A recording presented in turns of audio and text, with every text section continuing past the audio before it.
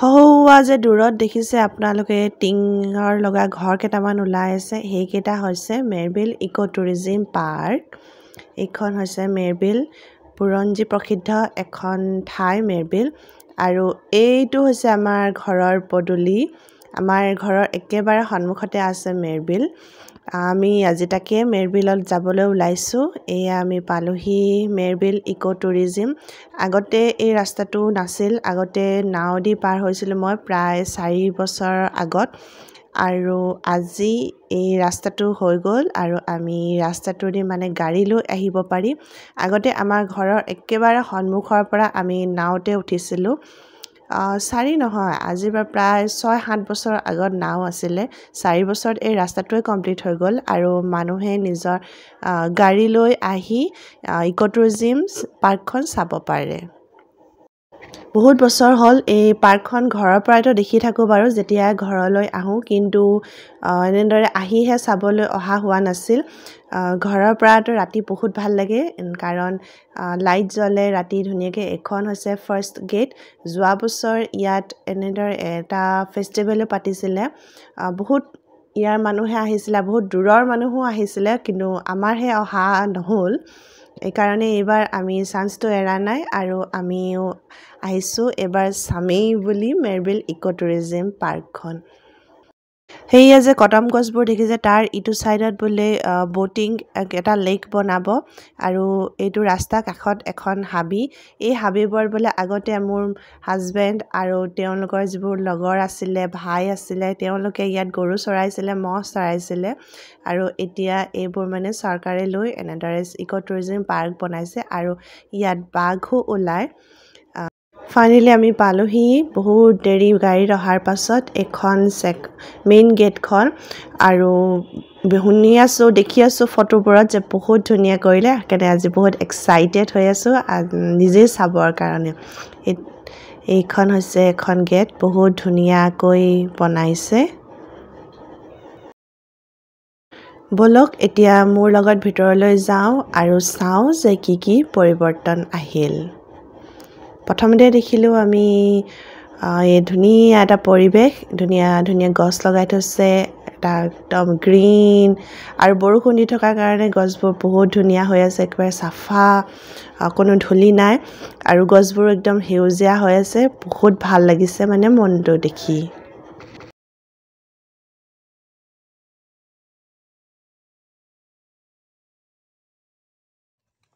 এইজোপা এটা কিবা ফুল হয় আমি আগতে ভাটৌ ফুল বুলি কৈছিলোঁ এনেদৰে গোটেই ৰাস্তাটোত পৰি থাকে আৰু আমি এনে ভৰিয়ে এনেকৈ গছকি গছকি যিটো পটক পটক আৱাজ কৰে বৰ ভাল লাগিছিলে। একেবাৰে মানে ল'ৰালিৰ স্মৃতি এইবোৰ। এই গছ ফুলজোপাৰ ভাল নামটো জানিলে বাৰু মোক জনাবচোন আপোনালোকে।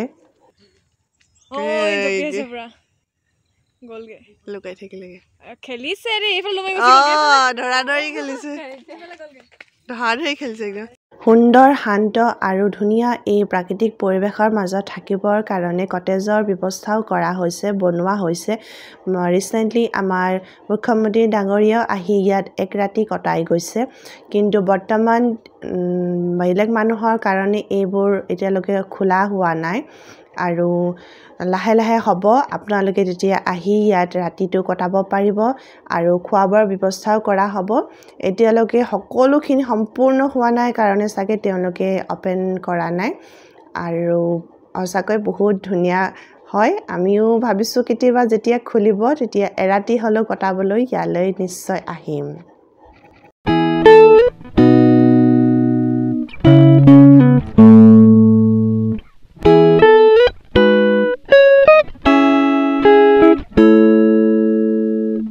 ভাওনাৰ দিনা দিনতে নামঘৰৰ পৰা ডাইৰেক্ট অহাৰ কাৰণে আমাৰ ছোৱালীকেইজনীও মেখেলা চাদৰতে আহিব লগা হ'ল। হ'লেও এক্সাইটমেণ্ট সিমানেই আছে। আৰু আপোনালোকে ইফালে সিফালে চাই থাকিলে দেখিব মোৰ ভিডিঅ'বোৰত য'তে ত'তে শহাপহু কেইটামান দৌৰি ফুৰিছে। ইয়াত তেওঁ সিহঁত তাহাঁতি মানে একেবাৰে ভয় নোহোৱাকৈ একদম ইফালে সিফালে দৌৰি ফুৰে। বাঘে বিচৰণ কৰি আছে। হয় ইয়াত ঠিকে পঢ়িছে আপোনালোকে। ইয়াত বাঘো ওলায় আৰু মানুহৰ ওপৰত আজিলৈকে এটেক কৰা শুনা নাই কিন্তু গৰু আৰু ছাগলীৰ ওপৰত তাহাঁতি এটেক কৰে। সেইকাৰণে চাগে ইয়াত ৰাতি থাকিবৰ কাৰণে কটেজবোৰ অ'পেন কৰি দিয়া নাই। এজনক সোধোতেতো তেনেকেই গম পালে সেইটো এটা শহাপহু। এটা নহয় দুটা। সেইকেইটা তিনিটা ঘূৰি ফুৰিছে আৰু পাহি আৰু কুকি পিছে পিছে দৌৰি ফুৰিছে ধৰিবৰ কাৰণে। সঁচাকৈ ইহঁতকেইটাক মানে ইফালে সিফালে এনেদৰে ঘূৰি থকা দেখি মনটো বহুত ভাল লাগি গৈছিলে।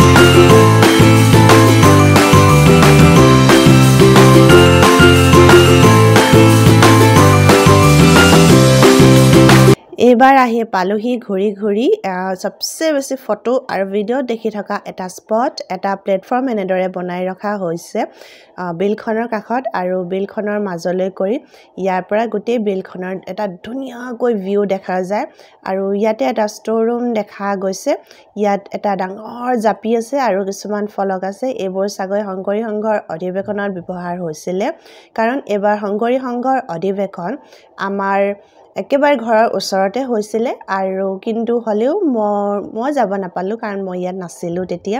মই একোৱে নাপাওঁ। যি কি নহওক এডোখৰ এডোখৰ বহুত ধুনীয়া ঠাই আৰু ইয়াৰ পৰা ভিউবোৰ বহুত ধুনীয়া আহে। সন্মুখত যিখন আপোনালোকে গছ গছনি ভৰা ঠাই দেখিছে সেইখনেই হৈছে আমাৰ গাঁওখন। আৰু এনেদৰে ওপৰত আৰু এটা প্লেটফৰ্ম বনাই ৰখা হৈছে। ইয়াৰ পৰা বোলে ভিউটো আৰু ভাল আহে। চাওঁচোন বাৰু কেনেকুৱানো আহে।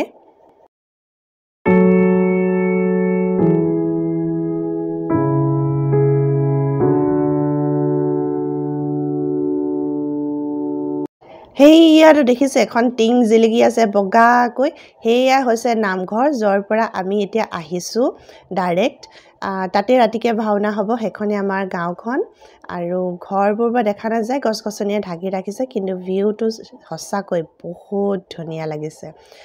এতিয়া পানী কম কাৰণে এইবোৰ যিবোৰ ডুব তৰা গছৰ সেইবোৰ লাগি গ'ল। আৰু এইজোপা বাঁহ গছ আপোনালোকে দেখিলেনে বাৰু? সেই বাঁহ গছজোপাৰ এটা কাহানী আছে।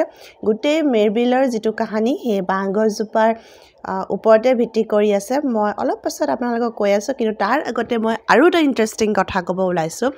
এই যে তৰা গছবোৰ দেখিছে এই তৰা গছবোৰৰ ওপৰত এইবোৰক ইয়াৰ লোকেল মানুহে কয় ডুব বুলি।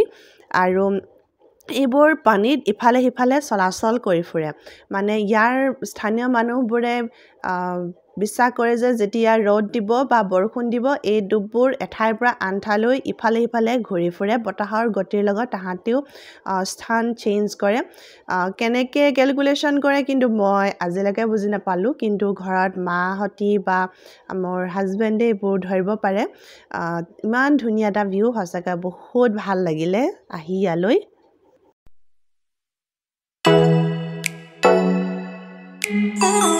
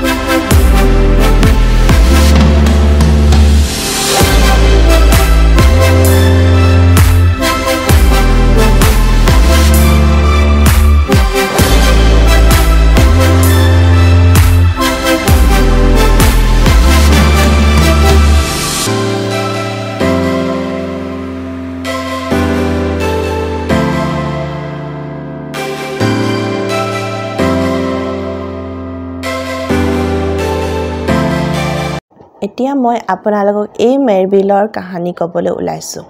প্ৰথমতে মেৰবিল মানে হৈছে মেৰাই থকা এখন বিল।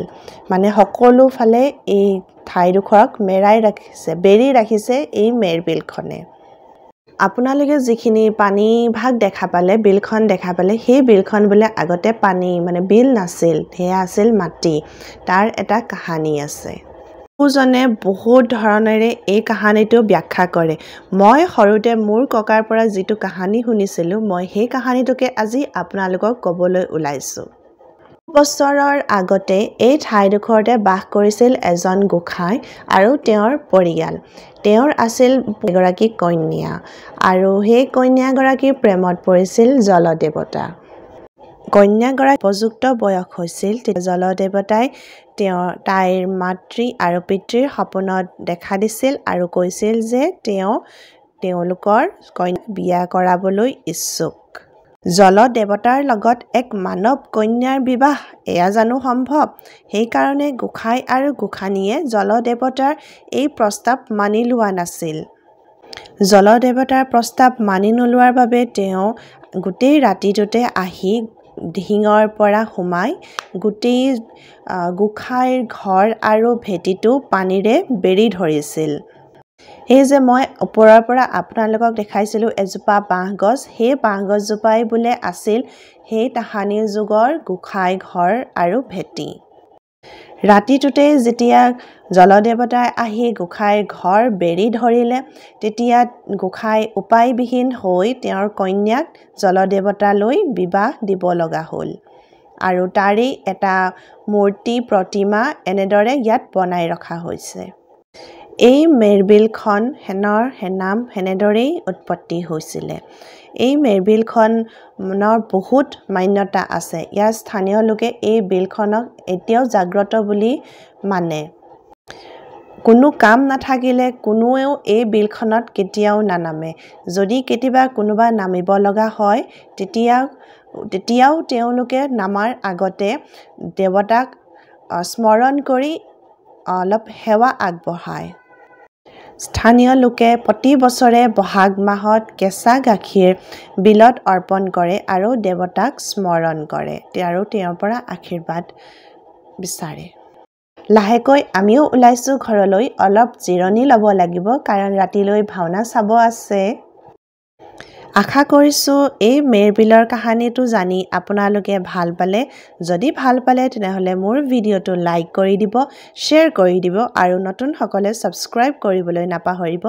মই অন্য এদিন আহিম আৰু বেলেগ এটা ভিডিঅ' লৈ। তেতিয়ালৈকে সকলোবোৰ সুস্থ থাকক আৰু হাঁহি ফূৰ্তিৰে থাকক। আজিলৈ আহিছোঁ। Bye bye.